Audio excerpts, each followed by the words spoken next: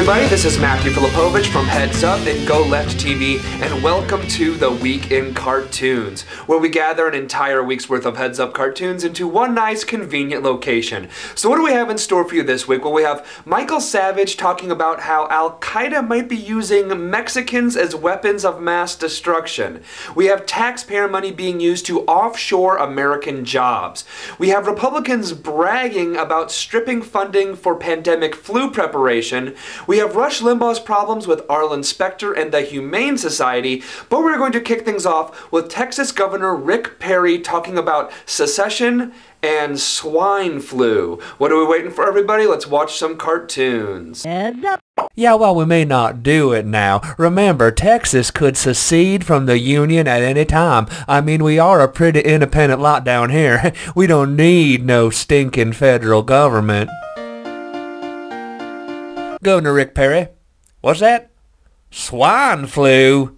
Uh, oh, so what I meant to say is, we love the federal government, especially when they're sending pandemic flu medication. And I didn't mean secede from the union. I meant succeed with the union, huh? Huh?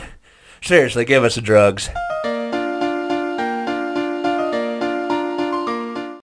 Senator Arlen Specter has switched from Republican to Democrat, and I say good riddance. The departure of moderates like Specter leaves the GOP closer and closer to the fringes, which is where it ought to be. And now a word against animal cruelty for the Humane Society. What? The Humane Society? You call yourself a Republican? You're against dogfighting? You socialist, communist, socialist? You better apologize to your crazy French base. I'm, uh, sorry. I love cruelty to animals. That's better. Now let's go kill us something furry.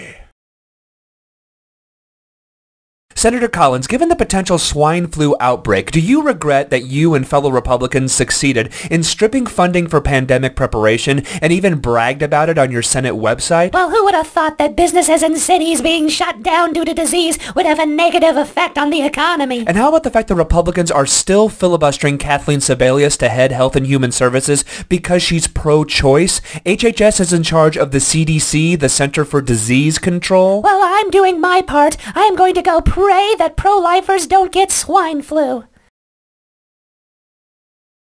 Secretary Geithner, after legislation to prevent it was watered down, it's being reported that banks that received billions in TARP funds, Bank of America, Bank of New York Mellon, are using that money to offshore jobs to countries like India. Oh, so they're using taxpayer money to ship American jobs overseas. What would you have us do? Force them to use taxpayer money to employ Americans?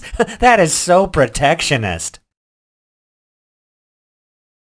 This is Michael Savage in the Savage Nation. Now I'm saying, what are the odds that the swine flu was created by Islamic terrorists? That they concocted it and planted it in Mexico? Cause the Mexicans are the perfect mules for the virus? I'd say the odds are pretty big. That's what I'm saying. And I ain't gonna eat in no restaurants like a moron, cause it's clear to anyone who's not an idiot that Al Qaeda is using the Mexicans as weapons of mass destruction. We'll be back on the Savage Nation.